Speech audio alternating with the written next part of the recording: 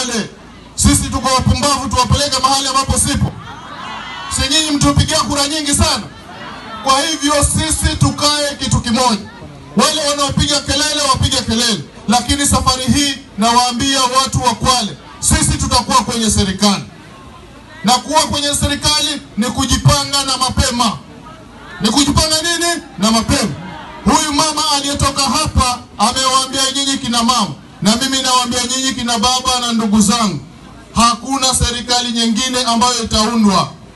Mimi namuomba kwa heshima Mheshimiwa Mudavadi, tukae na ndugu yetu William Samoei Ruto, tupange kazi na hawa watu wa Kwale watawapigia kura. Hawa watu wa Kwale, ni kweli si kweli?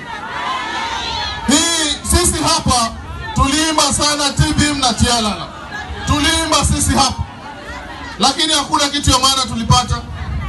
Na ile wakati wa handshake, Mheshimiwa Mudavadi, unaona uliachwa peke yako. Kwa hivyo kaa na ndugu yako, tufanye kazi na watu wa Kwale, tutaenda mbele.